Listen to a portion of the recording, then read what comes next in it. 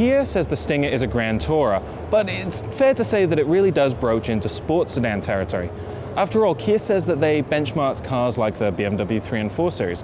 And in fact, one of this car's lead engineers is Albert Biermann, who used to be the head of BMW's M division.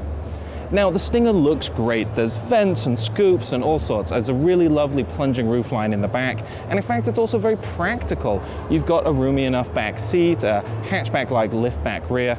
But what really gets me excited about the Kia Stinger is what's under the hood. In the base model, it's a 2-litre turbo 4 engine with 252 horsepower. And when you move up to the Stinger GT, you get a 3.3-litre bi-turbo V6 with 365 horsepower. Both engines come with an 8-speed automatic transmission and you can get rear or all-wheel drive. But in the GT you get Brembo brakes, you get 19-inch wheels with summer performance tires, and you get a different tuning for the adaptive suspension.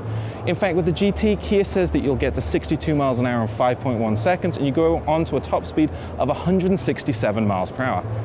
I'm really excited to drive this car. It looks pretty cool, and based on the specs we know so far, it should be a ton of fun to drive. Kia tested it on the Nürburgring extensively and on the Autobahn, and the engineers even told me that you can fully turn off the stability control for really wild drifts and donuts. It's fair to say I've never been so excited for a Kia before. If you want to learn more about the Kia Stinger, check out motor1.com.